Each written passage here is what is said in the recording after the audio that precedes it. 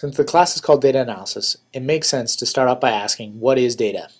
And where else would we turn for that definition than Wikipedia? Data are values of qualitative or quantitative variables belonging to a set of items. Let's start from the end of this phrase and work to the beginning to unpack what we mean by data. So first of all, a set of items. In a statistics class, this is sometimes called the populations. This is the set of objects that you're interested in studying. In a clinical study, it might be a set of patients, or it could be the set of visits to a website, or it could be all the cars that come off of, out of a particular factory that you want to measure for durability. Variables are measurements or characteristics of that item. So for example, for patients, it might be response to a therapy. For cars, it might be their durability or how long they last. And for visits to a website, it might be how long people stay on the website or what they click on while they're there. The variables can be divided into qualitative or quantitative variables. Qualitative variables are variables that can be defined by a label and have discrete values. So for example, some qualitative variables in a clinical study would be country of origin, the sex of the patients, or the treatment that they've received. Meanwhile, quantitative variables are numerical variables that are observed on a particular sliding scale. So for example, height, weight, and blood pressure of patients are all quantitative variables because they are measured on a numerical scale. Now that we know a little bit about data, we need to talk about the two different kinds that you'll commonly observe in a data analysis. First is the raw data. This is the data that comes from the original source or machine that was used to collect the data. It's often hard to use for data analysis either because it's too big or because it's in a format that's very hard to manipulate. Data analysis includes the processing of the raw data into processed data, although these steps are often ignored when performing downstream data analyses. The raw data may only need to be processed once, but those steps should be recorded and included in the report of the data analysis. Processed data, on the other hand, is data that is ready for analysis. Processing can include merging datasets together, taking subsets of data to make them smaller or to focus on a particular group of, of objects, by transforming the numbers by by to make them um, on a more manageable or correct scale, or dealing with missing data or outliers. There may be standards for processing for particular types of data, and those standards are often used over and over and over again. But all steps should be recorded because you might do something slightly different in the way that you process the data. A specific example can shed some light on the difference between raw and processed data. This is a picture of a HiSeq DNA sequencing machine. This machine is used to sequence DNA in clinical studies. DNA is the sequence of about 3 billion base pairs, or letters, that is unique to each person. We will consider the data from this machine to compare raw versus processed data. Don't worry if you don't understand every step and how the machine works. The goal is just to illustrate the difference between raw and processed data and to show you how raw data can be relative.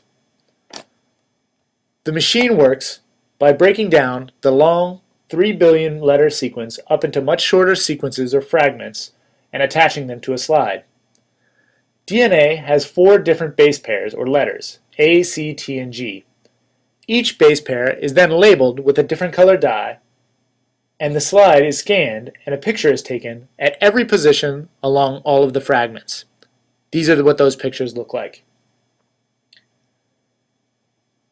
The images are then processed by a computer and at every position on every fragment, each of the four letters A, C, G, and T gets an intensity value.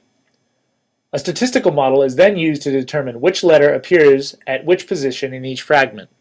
For example, for this fragment, at this position, the letter might be C because it has the highest intensity. The result is a very large set of short sequences of letters, maybe hundreds of millions, where each fragment is maybe 100 letters long. These estimated fragments are then pieced together like a puzzle to get the sequence of letters in a person's genome. Here, the raw data could be the image files right here, but they are huge often terabytes of data, and contain lots of information that we may not need. Similarly, it could be the intensity files, but those are also often very large and may contain information that aren't, isn't necessary for assembling genomes. Most people use the sequence fragments, or the short sequences of letters, as the raw data for as assembling a genome. This is a very compressed version of the data, and it makes sense that it's possible that these compressed versions of the data depend heavily on what algorithm you used for scanning the images or the statistical model that you used for calculating the letters based on the intensity file. The important thing to note here is that it's critical to keep track of all those raw data processing steps, and also to keep in mind that changing those steps might lead to different data analysis outcomes. So what do raw data look like? These are an example of those short fragments that might come off of a DNA sequencing machine. It's a short sequence of letters of A's, C's, T's, and G's, and above it some information about the quality of those letters. This information is very hard to process and analyze directly as it is, and is often processed a step further before humans actually interact with it. Another example of raw data comes from an application programming interface, or an API. This is an example from the Twitter API, which you can access through websites. These websites then give you data in a particular format that can be used for analysis. But the format of the data is structured in such a way that it might not be easy to perform analysis directly on the raw data itself, like this data here, which is in JSON format. Another example of raw data is electronic medical records. Electronic medical records might contain information collected by doctors on treatments, on patient history, or on other characteristics of the patient, and might include things like free text, where a doctor has actually just written in a description of what they observed. It's again very difficult to analyze these data directly without some level of processing. So what do process data look like? They look something like this. This is an example from a paper that we published in 2011 on peer review. Each variable appears in one column, and each row corresponds to one observation. So for example, this rook column only contains the variable on which time the, the review was completed. Meanwhile, this row contains all the information about that particular review. Another thing to keep in mind is that Process data contains tables or data files that store one kind of observation per table.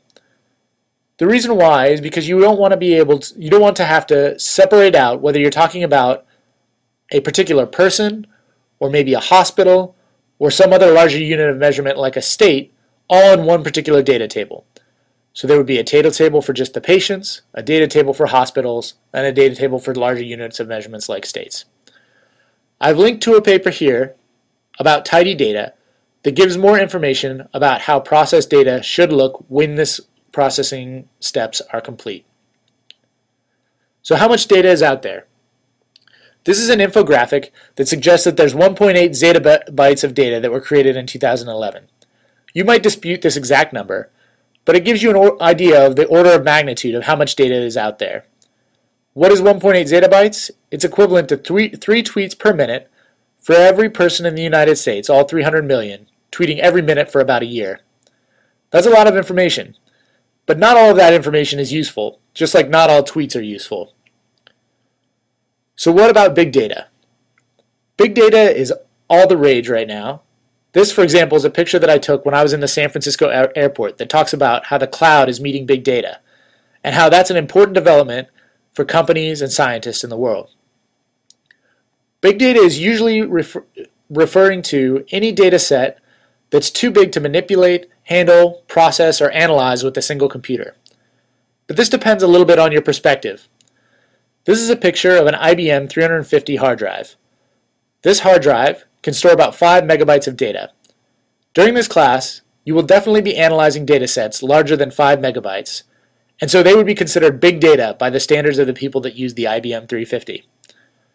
So why are we talking about big data now, if it's always been a matter of perspective? Here's an example.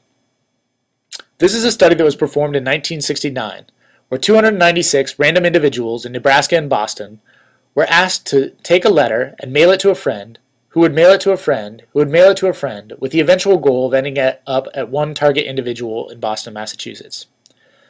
They collected 64 such mail chains, and they calculated that the average number of people in between the original person that the letter started with and the target person was 5.2. This number got rounded up and became the usual term 6 degrees of separation that you may have heard about before.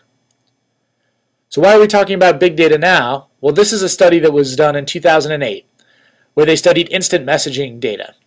They studied 30 billion conversations on 240 million people and came up with a new number for 6.6 degrees of separation between individuals, which they rounded up to 7 degrees of separation. Big data is such a hot topic because it's now so easy to collect so much data for so little money. And it's not clear that our computers have kept up with the pace of data collection.